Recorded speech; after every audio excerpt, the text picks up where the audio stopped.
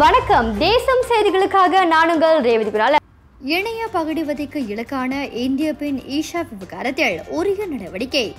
ஈஷாவின் குடும்பத்தினருக்கு நேரில் ஆறுதல் கூறிய அமைச்சர் ஃபாமி ஃபர்சில் உறுதி.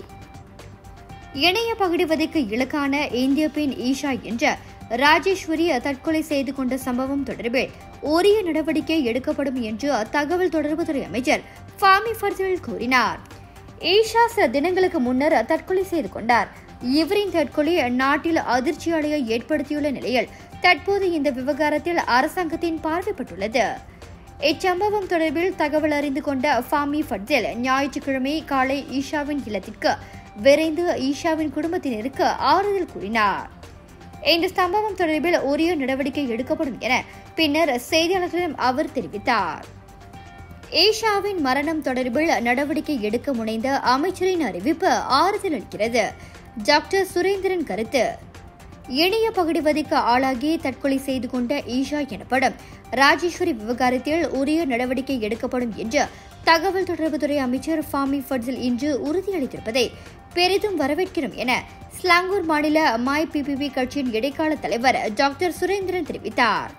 கோம்பாக் சத்யாவில் உள்ள அவரது இல்லத்திற்கு சென்ற அமைச்சர் ஃபாமி ஃபட்சேல் அவரின் தாயார் மற்றும் குடும்ப உறுப்பினர்களுக்கு ஆறுதல் கூறியிருக்கிறார். ஈஷாவின் இல்லத்திற்கு அமைச்சரை நேரடியாக சென்றிருப்பது அவரின் கடமை உணர்வை பிரதிபலிக்கிறது. இவ்விவகாரத்தில் அவர் கண்டிப்பாக நடவடிக்கை எடுப்பார் என்ற நம்பிக்கை பிறந்துள்ளது. மேலும் இதுபோன்ற பகுடிவதை டிக்டாக் சம்பவங்களுக்கு தொடர்புத்துறை அமைச்சு முற்றுப்புள்ளி வைக்க வேண்டும். இதற்கு காரணமான தரப்பினர் நீதிமன்றத்தில் நிறுத்தி அவர்களுக்கு உரிய தண்டனையை அமைச்சு பெற்றுத்தர வேண்டும் என்று கடுமையாக வலியுறுத்துகிறோம்.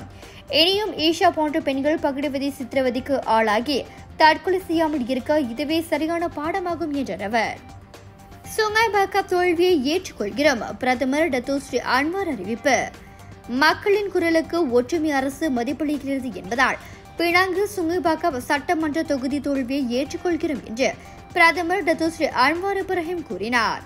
சுங்கை சுங்கைபாக்கா சட்டமன்ற இடைத்தேர்தலில் ஒற்றுமை அரசாங்க வேட்பாளர் தோல்வி கண்டார். ஒற்றுமை அரசு இந்த தோல்வியை ஏற்றுக்கொள்கிறது. குறிப்பாக மக்களின் குரலுக்கு அரசு மதிப்பளிக்கிறது. சுங்கைபக்கா மாநில சட்டமன்றத்தின் மக்களின் குரலை பிரதமராக நான் பணிவுடன் ஏற்றுக்கொள்கிறேன். அதே வேளையில் மடானி கொள்கையில் தீவிரமான திட்டங்களை முன்னெடுக்க ஒற்றுமை அரசு இலக்கு கொண்டுள்ளது. மக்களின் நலனை பாதுகாப்பதற்கான முயற்சிகளை தீவிரப்படுத்துவதன் மூலம் மடானி அரசாங்கத்தின் இம்முடிவை உணர்கிறது என்று அவர் குறிப்பிட்டார்.